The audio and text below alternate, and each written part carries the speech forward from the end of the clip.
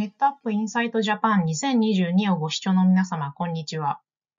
数あるセッションの中から本セッションをご視聴いただきましてありがとうございます。本セッションでは、楽々オブジェクトストレージと題しまして、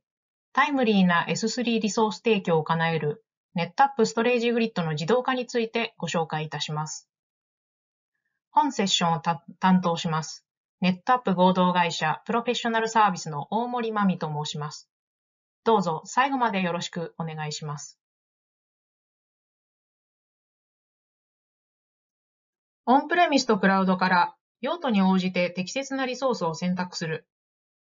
このようなハイブリッド環境が前提となりつつあり、これまで使用してきた技術に加え、次々と出てくる新しいもののキャッチアップなど、IT 担当者は日々これらの対応に追われています。一方で IT 利用者は変化のスピードに対応できるように、より迅速なリソースアサインを IT 担当者に期待しています。たとえ少しであっても、時間が節約できることは IT 担当者にとってもユーザーにとってもストレスを軽減することにつながります。ちょっとした作業だからマニュアル運用でいいとするのではなく、繰り返し発生する作業は自動化することが IT 担当者にとっても利用者にとっても幸せになる第一歩です。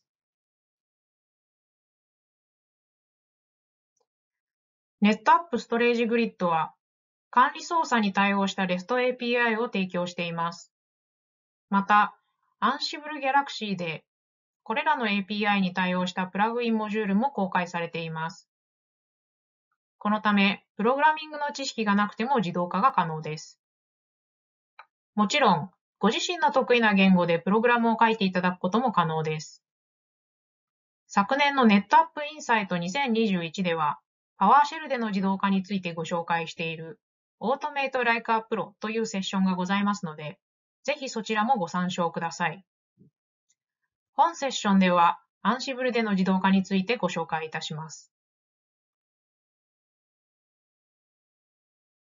具体的な自動化方法についてお話しする前に、ここで簡単にネットアップストレージグリッドについてご紹介いたします。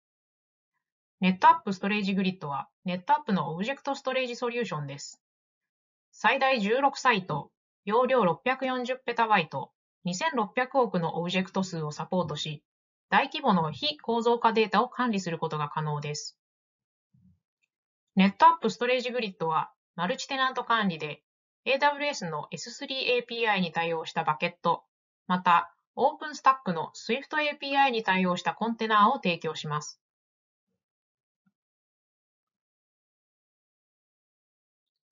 ネットアップストレージグリッドでは主に2つの管理操作のタイプがあります。一つ目は、オブジェクトストレージを構成するネームスペースの管理、グリッド管理です。テナントの払い出しやデータアクセスへのロードバランシング、QoS 設定などを実行できます。もう一つは、実際にデータを格納するリソースの管理、テナント管理です。S3 バケットにアクセス可能なユーザーの作成やアクセスポリシーの設定ができます。ユーザーがアクセス可能なリソースの払い出しを自動化するには、これらの2つの管理に関する API を使用します。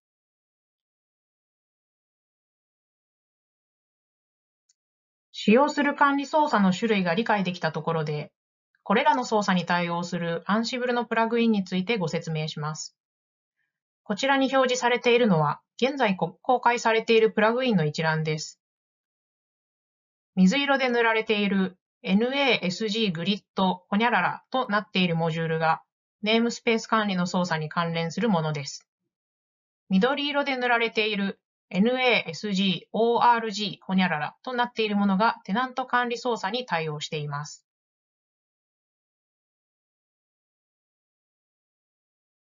実際にユーザーがストレージグリッドでオブジェクトストレージリソースを使えるようにするためには大きく分けて4段階あります。リソースを使用するユーザーにどの程度まで権限以上を行うかの運用方針によって引き渡す段階が異なります。テナント作成までを基盤管理者で行い、テナント内の詳細はすべてユーザーに委任する場合、1のテナント作成が完了した段階でユーザーに引き渡します。これに対し、ユーザーにはデータアクセスの操作のみを許可する集中管理型とする場合には、2、グループ、ユーザー作成、3、アクセス認証キーの払い出し、4、データ格納先作成まで実行した上でユーザーに引き渡します。権限異常型と集中管理型の間で引き渡すことも可能です。各ステップの右上に操作に対応する Ansible プラグインの名前を記載しています。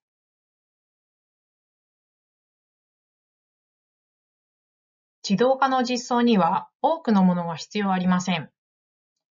ネットアップストレージグリッドネームスペース、ストレージグリッドのグリッド管理操作権限が付与されているユーザーのユーザー名とパスワード、Ansible バージョン2.9以降がインストールされた LinuxOS をご用意ください。また、事前準備として、Ansible がインストールされた LinuxOS で Ansible Galaxy コマンドを実行し、ストレージグリッドのプラグインモジュールを入手しておきます。自動化する際にプレイブックの記述で確実に押さえておくポイントをご紹介します。グリッド管理 API の実行にはグリッド管理ユーザーの認証トークン、テナント管理 API の実行には、テナント管理ユーザーの認証トークンが必要です。まずは認証トークンを取得するタスクを実行し、その結果を変数として登録します。以降のタスクでは、この情報を使用してリクエストを実行します。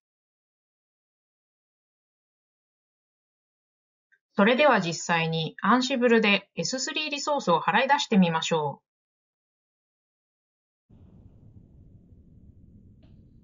今、画面に表示されているのは、ストレージグリッドのグリッド管理画面です。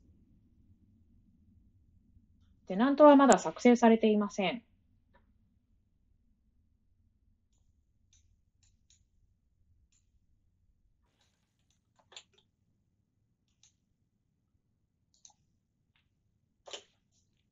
ストレージグリッドのプラグインモジュールは Ansible Collections 配下のこちらのディレクトリに格納されています。各モジュールを開くと、オプションの説明やタスクの書き方の例が記載されています。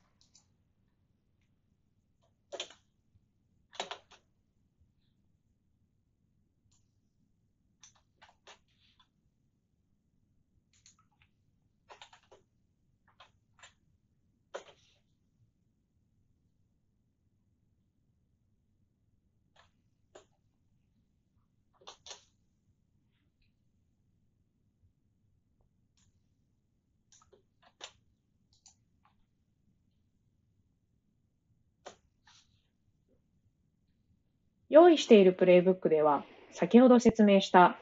リソースが使えるようになるまでの4段階が全て含まれています。グリッド管理操作の前には、グリッド管理の認証トークンを、テナント管理操作の前には、テナント管理の認証トークンを取得しています。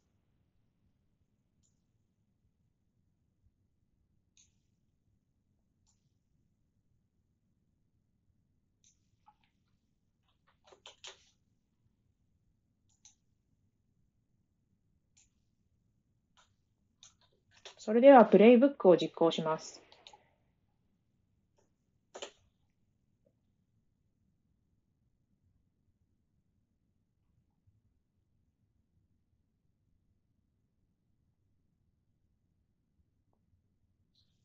すべてのタスクが成功しました。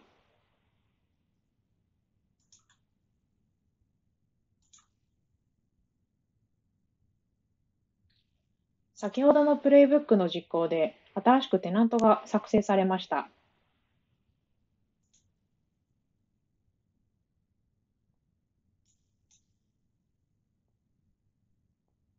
テナントの中にはバケットが作成されています。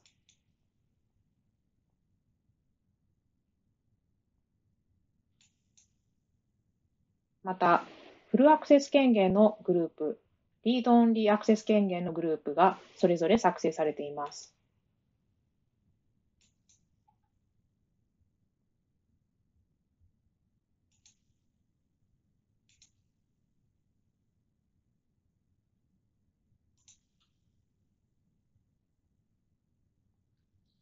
それぞれのグループでは、ユーザーが一つずつ作成されています。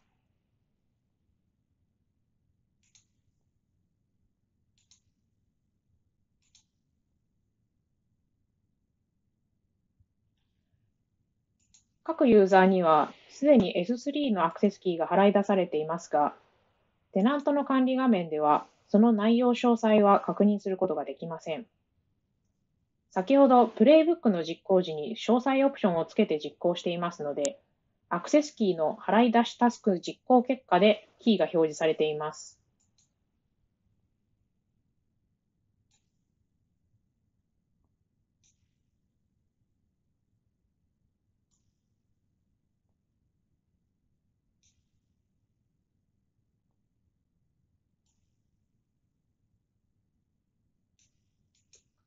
実際の運用では、この結果をファイルに出力し、そのファイルをユーザーに提供する形になります。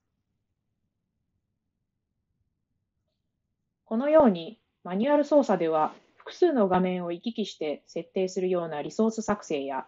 アクセス制限の設定も自動化することで瞬時に完了できます。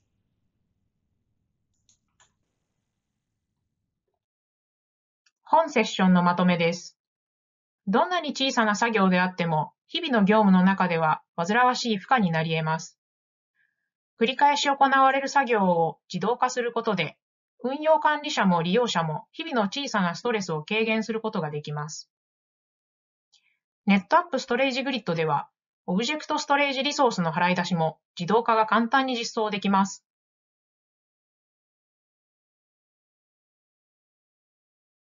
ネットアップインサイトジャパン2022では、この他にもネットアップストレージグリッドの機能や使い方について様々なセッションをご用意しております。こちらに表示されている関連セッションもぜひご視聴ください。